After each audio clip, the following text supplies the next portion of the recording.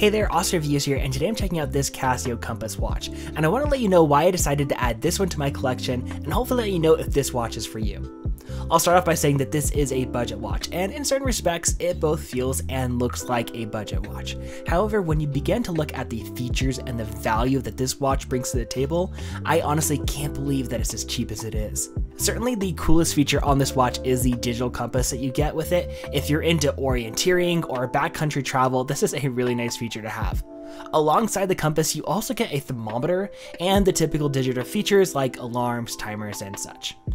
It has a black resin band, which makes it feel lighter than a full metal watch would, but it still has some impressive size to it, and it has a presence when you wear it on your wrist. If you do have a smaller wrist, just keep in mind that this is a 45mm dial, and it might be a little bit bigger than you want. This is definitely on the larger side of what I commonly wear.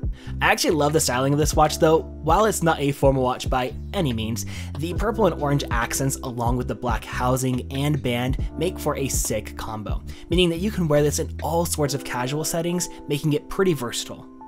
All in all, the value that you get from this Casio Compass watch is just insane. You'd be hard pressed to find a better watch with the same features at this price point. So, with that said, go check it out yourself.